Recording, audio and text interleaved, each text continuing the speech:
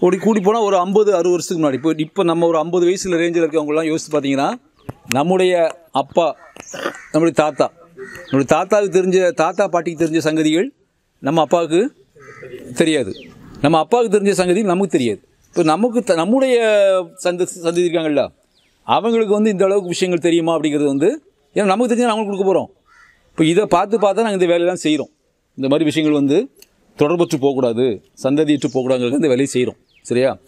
ரெண்டாவது இன்றைக்கி இன்னைக்கு இன்னைக்கு வந்து மிகப்பெரிய நெருக்கடி சந்திக்க போகிறோம் இன்னொரு பத்து இருபது வருஷத்தில்.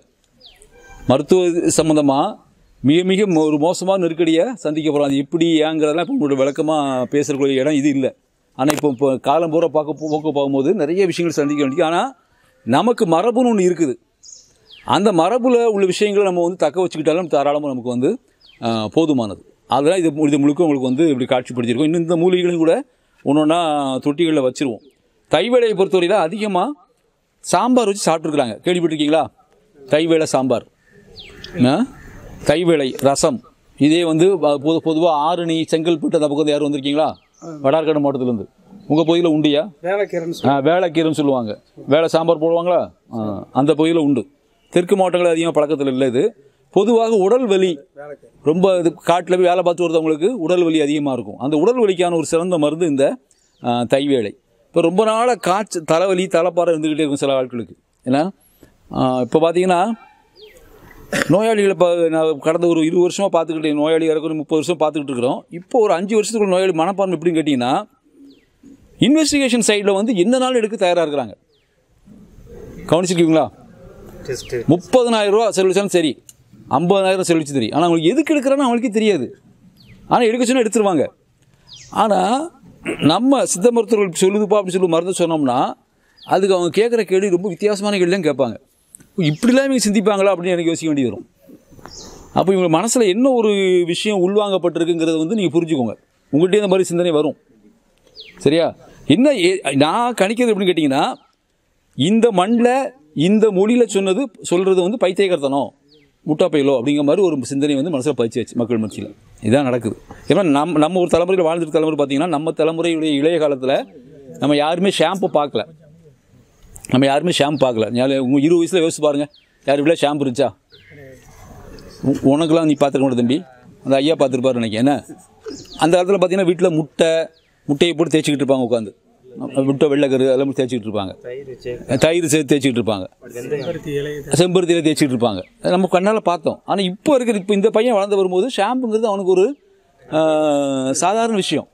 ஷாம்பு இல்லாமல் குளியல் இல்லை அப்படின்னு நினைக்க நினைக்க ஆரம்பிச்சிட்டாங்க.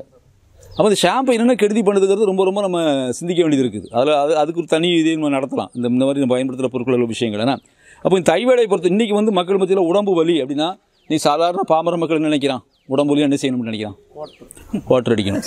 அவ்வளோதான் குவாட்டர் அடிச்சுட்டு பேசாமல் படுத்தா போதும். ஒரு காலில் நான் வேலைக்கு போயிடும் நினைக்கிறேன். ஆனால் பழைய காலத்தில் மக்களுடைய உடம்புலியை தீர்த்த மூலிகை தைவேலை நல்வேளைன்னு பேர்.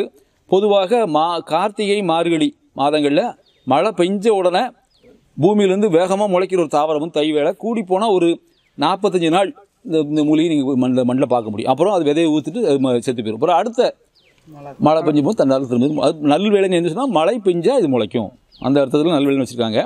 மூலிகைகளை மூலிகைகளை வந்து நீங்கள் இதை செடி கொடிகளை வந்து நீங்கள் வந்து உங்களுக்கு பயன்படக்கூடிய மூலிகையாக மட்டும் பார்க்காதீங்க. நல்லா புரிஞ்சுக்கோங்க. நம்ம இயற்கையை பார்க்குறதுக்கும் வெள்ளைக்கார இயற்கையை பார்க்குறதுக்கும் வித்தியாசம் இருக்குது நம்ம எப்படி இயற்கையை பார்த்தோம் வெள்ளைக்காரன் எப்படி இயற்கையாக பார்த்துருக்கான் சொல்லுங்க பார்ப்போம் வெள்ளக்காரன் என்ன பண்ணுவாங்கன்னா ஒவ்வொரு மலையிலையும் எத்தனை மரம் இருக்குது எத்தனை இது எத்தனை டன் விறகு எடுக்கலாம் எத்தனை டன் டிம்பர் எடுக்கலாம் இது அவன் கணக்கு போகும். அவங்க கணக்கே அப்படி தான் இருக்கும். ஆனால் நம்ம அப்படி இல்லை. நம்ம அதுக்குள்ளே இருந்து இயற்கையை பார்ப்போம். அங்கே எல்லா காடுகள்லேயும் ஒரு சாமி இருக்கும். இப்போ புதுக்கோட்டையில் பார்த்தீங்கன்னா எல்லா காடு சாம்பூரா சாமி இருக்கும். எல்லா காட்டுக்குள்ளேயும் சாமி இருக்கும். ஏன்னா காட்டுக்குள்ளேயே நம்ம இயற்கைக்குள்ளே இருந்து நம்ம பார்ப்போம். இயற்கை வெளியே இருந்து பார்க்குறது வரை இயற்கைக்கு உள்ளே இருந்து பார்க்குறது நம்மளும் இயற்கைக்குள்ளே தான் இருக்கிறோம். இப்போ கொஞ்ச நாள் என்ன போச்சுன்னா எதுனாலும் உடனே அதை எடுத்து உடனே அதை இடித்து அரைச்சி அது இப்போ வாட்ஸ்அப் வந்தவரை பார்த்தீங்கன்னா உடனே ஒரு தகவல் வந்துடும் சர்க்கரை நோயில் நிரந்தரமாக தீர்வு தீர்வான வழி. என்ன? வெண்டைக்காய் எடுத்து அதை கீறி அதில் இருக்க நுரையை மட்டும் எடுத்து இது எப்படி எடுக்க முடியும் நுரையும் தெரியல எனக்கு. அதை எடுத்து காலைல காலைல ஒரு ரெண்டு சாப்பிட்டு வந்தால் சர்க்கரை வியாதி முற்றிலும் குணமாகும். இதுக்கு எதாவது ஆதாரம் உண்டா? கண்டிப்பாக எதுவுமே கிடையாது. ஆனால் அந்த மாதிரி தகவல் நீங்கள் யோசிக்க வேண்டாம். கூடுமான வரைக்கும் நீங்கள் நம்ம நு- நம்மளுக்குன்னு பெரிய ஒரு சாஸ்திரம் இருக்குது பாரம்பரியம் இருக்குது அதில் வந்து நமக்கு ஏராளமான நூல்கள் இருக்குது அந்த நூல்களில் சொல்லப்பட்ட கருத்து நூற்றுக்கு நூறு உண்மையாக இருக்குது அதில் மாற்றமே கிடையாது. அதில் அந்த அடிப்படையில் உங்களுக்கு சொல்கிற கருத்துக்கள்லாம் வந்துக்கிட்டு இருக்குது. இப்போ நான் சொல்ல போகிற எல்லா கருத்துக்களும் இப்போ உங்களுக்கு நான் புத்தகம் தயாராகிட்டது நீங்கள் குறிப்பெடுக்கிறவங்கள குறிப்பெடுத்துக்கோங்க. ஏறக்குறைய ஒரு மூலிகைகளை நாங்கள் ஒரு நான்கு விதமாக பார்க்குறோம் அதாவது தாவரவியல் வகைப்பாடு வேறு தமிழ் வகைப்பாடு வேறு. நம்ம பொதுமக்கள் அடிப்படையில் பார்த்தோன்னா ஒரு நான்கு விதமாக பார்க்குறோம் ஒன்று கேட்டிங்கன்னா வீட்டு தோட்ட மூலிகைகள். உங்கள் வீட்டுக்கு பக்கத்தில். நமக்கு வீட்டில் தோட்டம் போடலாம் இடம் கிடையாது. வீட்டுக்கே வீடுகளுக்கு இடம் இல்லை. வீட்டு தோட்டம் எங்கே போடணும் யோசி- யோசிக்கலாம். ஆனால் ஆனால் மாடி தோட்டம் வந்த பிறகு இடம் கிடைக்குது. சரியா? இன்றைக்கி யோசனை பண்ணி பார்த்தோம்னா கிராமங்களை விட நகரங்களில் தான் மூலிகை விளக்கு அதிகமான இடம் இருக்குது அது குறிப்பாக இந்த இது இருக்குது பாருங்கள் அப்பார்ட்மெண்ட்ஸ் நிறைய ஸ்பேஸ் நிறைய ஸ்பேஸ் இருக்காங்க மூலிகை வளர்க்குறதுக்கு. அங்கே அது மாதிரி குடியிருக்க யாராவது வந்திருக்கீங்களா? அப்பார்ட்மெண்ட் குடியிருப்போர். யோசனை பண்ணி பாருங்கள் எல்லா அப்பார்ட்மெண்ட் குடியிருப்போருக்கும் ஒரு தெளிவான சங்கம் வச்சுருக்காங்க. அது ஒரு வழக்கம் போல் ஒரு வருஷம் வருஷம் சண்டை போடுவாங்க அதெல்லாம் நடந்துட்டு தான் இருக்கும். என்ன? ஏன்னா அந்த அப்பார்ட்மெண்ட்குள்ளே அவன் பிளான் போடும்போதே செடி வளர்க்குறதுக்கு பார்க் வளர்க்கணும்னு இடம் கேட்பான். அந்த இடத்துல மூலிகைகள் வளர்க்குறதுக்கு யோசனை பண்ணுங்கள் வீட்டில் இடமே இல்லையா? மாடி தோட்டத்தில் மாடியில் வந்து ஒரு அஞ்சு பத்து தொட்டி வச்சு முக்கியமானது துளசி தூதுவேலை கண்டங்கத்திரி இந்த மாதிரி முக்கியமான மூலிகைகள். உடனே அதாவது என்னென்னு என்ன இது எப்படி வழக்கலந்து போச்சுன்னா மக்களை விட்டு இது விலக்கப்பட்டு விட்டது இந்த தாவரங்கள். இப்போ ஆடதுரை வேணும் என்ன செய்ய அப்படின்னு யோசிப்போம். கிடைக்கல சரி ஒரு காஃப் சிரப் வாங்கி குடிப்போம். புரியுதா உங்களுக்கு? இந்த இடத்துக்கு மக்கள் மாறினாங்கன்னு தெரியுதா? அதே மாதிரி ஒரு சுக்கு மிளகு வேணும் போய் கடையில் கடை இல்லை. சரி விட்டுரு. நம்ம ஏதாவது ஒரு ஆன்டிபயோட்டிக் போட்டுக்கிடுவோம். இது ரெண்டு மூணு ஃபாரினர்ஸ் வந்திருந்தாங்க. அவங்கள பார்க்கும்போது எனக்கு ரொம்ப ஆச்சரியமாக இருந்துச்சு. என்னென்னா ஒரு ஆன்டிபயோட்டிக் எடுக்கிறதுக்கு ஏழு நாள் தயங்குறாங்க அவங்க. அவ்வளோ டெஸ்ட் எடுத்துட்டு தான் ஆன்டிபயோட்டிக் கொடுப்பாங்களா அங்கே? ஆனால் நம்ம நாட்டில் பாருங்கள் ஒரே குழந்தைக்கு நாலு அஞ்சு ஆன்டிபயோட்டிக் தைரியமாக டெய்லி கொடுப்பாங்க. அப்போ என்ன ஆகுதுன்னு கேட்டிங்கன்னா நமக்கு எதிர்ப்பு சக்தி முழுக்க குறைஞ்சி போயிடும் இப்போ நம்ம முன்னோர்கள் பயன்படுத்துகிற மருந்துகள்லாம் உடம்புடைய எதிர்ப்பு சக்தியை கூட்டி நோய்கள் குணமாக்குற மருந்துகள். நம்ம மருந்துகள் புறாமை. மூலிகை மருந்து முழுக்க முழுக்க. சரியா? அதில் அந்த அடிப்படையில் நீங்கள் வந்து இந்த மூலிகை மரத்தை கற்றுக்கோங்க எல்லாத்தையும் கற்றுருப்போம் தயவு தயவுசெய்து நினைக்காதீங்க. அதெல்லாம் வந்து ஒரு அறிமுகம். ஏன்னா ஏன்னா நீங்கள் நீங்கள் ஒரு பாதையில் முதல் கடந்து வந்துட்டீங்க. நாங்கள் ஒரு பாதையில் கடந்து போயிட்டு இருக்கோம். சரியா? நம்ம ரெண்டு சந்திச்சு நம்ம ரெண்டு இன்டர்செக்ட் ஆகிற சில விஷயங்களை நீங்கள் எடுக்க முடியுமே ஒழிய எனக்கு தெரிஞ்ச பூரா உங்களுக்கு தெரியணும் நீங்கள் எதிர்பார்த்துட்டு முடியாதீங்க. ஏன்னா முதல்ல பார்த்தீங்கன்னா பயிற்சிக்காரர் முதல்ல பார்த்தீங்கன்னா ரொம்ப கொஞ்சம் வயசான ஆளுக்கு தான் வருவாங்க. ஏன்னா அவங்க வந்து ராத்திரி மறுநாள் காலையில் போய் தங்கணும்னு பார்த்துட்டு ராத்திரியே வந்துடுவாங்க போன பயிற்சி நாங்கள் முதல் பயிற்சியில் பார்த்தீங்கன்னா ஒரு ஆறு ஏழு பேர் ஒரு எழுபது வயசுக்காரங்க வந்துட்டாங்க. இப்போ நாங்கள் இன்றைக்கி நேற்று நைட்டு கூட வந்து கூட கேட்டேன் அதான் கேட்டேன் என்ன கேட்டோம்னா ஐயா இவ்வளோ வயசில் வந்திருக்கீங்க இதுக்கியா ஏதாவது தெரிஞ்சுக்கிடுவோம் ஐயா சும்மா தானே நாங்கள் வீட்டில் இருக்கோம். ஏன்னா அப்போ எதாவது தெரிஞ்சுக்கிட்டதுமே அப்படி. அடுத்தது பார்த்தீங்கன்னா உங்களுக்கு ஒன்றுமே தெரிஞ்சுன்னா வருத்தப்படாதீங்க. இந்த இடத்துக்கு நீங்கள் வந்துட்டு போனாலே இந்த பொதியம்பல் அடி பார்த்து வந்துட்டு போனாலே உங்களுக்கு ஒரு பெரிய ஒரு நல்ல ஒரு நன்மை கிடைக்கும். இது ஜோசியம் இல்லை. நீங்கள் வந்து பார்த்துருப்பீங்க இப்போ நீங்கள் இப்போ ஒரு ஆ- ஆற்றெல்லாம் சுற்றி காட்டாலும் நீங்கள் பாருங்கள் ஒரு ஆறு ஒரு ஒரு அழகான கோயில் என்ன ஒரு தெப்பக்குளம் இந்த இடத்துல நம்ம இருக்கிறதே வந்து ஒரு ஒரு ஒரு என்ன சொல்ல ஒரு இயற்கையோடு இயந்த ஒரு வாழ்க்கை இந்த ரெண்டு நாள். அப்படி தான் நான் யோசனை பண்ணுறேன் சரியா?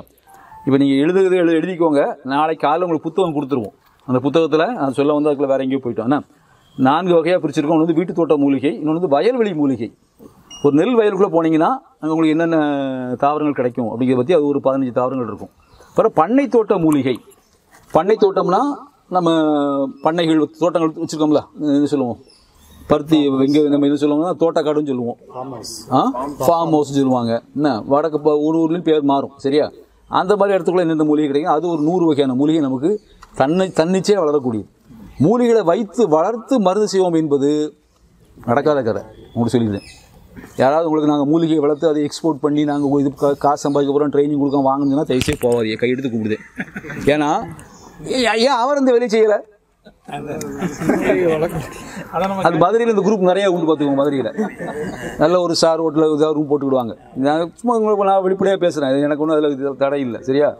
ஏன்னா நிச்சயமாக மூலிகளை வளர்த்து உங்களால் கொடுக்க முடியாது. மூலிகளை வந்து சேகரம் பண்ணி தான் நம்ம எடுத்துகிட்டு இருக்கோம் இன்னும் இந்த இது வரைக்கும். மூலிகளை வளர்த்து கொடுக்கும் பொழுது அதனுடைய விலை பத்து மடங்கு ஆகும். நல்லா புரிஞ்சுக்கோங்க. அதனுடைய விலை வந்து பத்து மடங்கு ஆகும். நீங்கள் ஒரு வயல்வெளியில் போய் எடுக்கிற மூலிகைக்கும் அது மட்டும் இல்லாமல் இயற்கையுடைய உந்துதலோட வளர்ந்த மூலிகை தான் மூலிகை சத்து அதிகமாக இருக்கும். அது நெருக்கடி வேணும் மூலிகைகளுக்கு சரி தாவரங்களுக்கு. ஒரு நெருக்கடி கொடுக்க கொடுக்க தான் மூலிகை வேகமாக வளரும். உதாரணமாக நீங்கள் ஒரு சந்தன மரத்தை வீட்டில் வீட்டில் வச்சு நட- வச்சு நட்டு வளர்த்து பாருங்கள் அது தூ நடு நடு பறக்கவே பறக்காது ஆனால் அதே சமயத்தில் ஒரு சந்தன மரத்தை காட்டுக்குள்ளே போய் பாருங்கள் வேகமாக வந்துக்கிட்டு இருக்கும். அதனால் மூலிகளை வளர்ப்போம் வளர்ப்பது வந்து உங்களோட உடல்நலத்துக்காக யோசிக்கணுமே ஒழிய இந்த வியாபாரத்துக்காக தயவுசெய்து யோசிக்காதீங்க. அப்படி யோசிச்சிங்கன்னா நீங்கள் ஏமாந்துருவீங்க அவ்வளோதான் நான் அதுக்கு மேலே ஒன்றும் சொல்கிறதுக்கு இல்லை. ஏன்னா உதாரணமாக அவுரின்னு ஒரு மூலிகை இங்கே திருநெல்வேலியில் அதிகமாக நாங்கள் பயிரிடுதோம் திருநெல்வேலி மாவட்டத்தில். அந்த அதனுடைய வரலாறு போனீங்கன்னா பெரிய வரலாறு. ஆனால் அந்த மூலிகைகளை வந்து இங்கே மட்டும்தான் பயிர் செய்ய முடியும். நம்புறீங்களா? மற்ற இடத்துல பயிர் செஞ்சால் வராது ஒன்று மட்டும் இல்லை அது உருவுறக்க கூலி வந்து அதிகமாகுது. பத்து மடம் கூலி ஆகுது.